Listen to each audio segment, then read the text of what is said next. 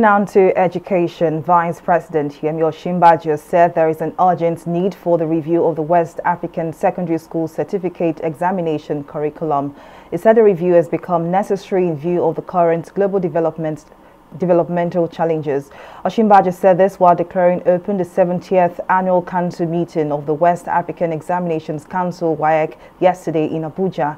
He urged the examination body to adopt the teaching and learning methods of Cambridge International General Certificate of Secondary Education. It's now time to begin to prepare for the next 70 years. And it is clear that these coming decades will come with vastly different challenges and opportunities. There are at least three issues that present new challenges and, of course, opportunities. The first is the African Continental Free Trade Area and its implications for the growth of institutions.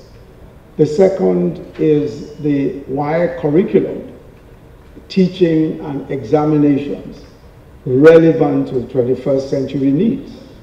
And the third issue is the role of technology in the work of WAEC.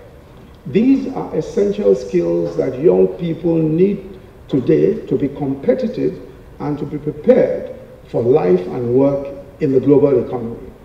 So it seems to me that in the next few years, WAEC's curriculum and examinations and the teaching must be designed to test for and support these core skills.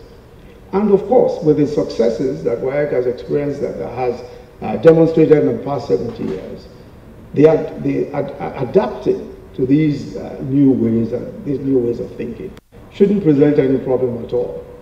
This is the Africa that WAEC must prepare our children for. An Africa that will need world-class young people who have strong interpersonal, innovative, entrepreneurial, critical, and creative thinking skills amongst others. I think it's also crucial that WAEC must continually embrace technology, and there is no option today. And we must commend again for the technological innovations that have been implemented so far, which includes biometric verifications, online registration, computer-based tests, and of course, uh, the digital certification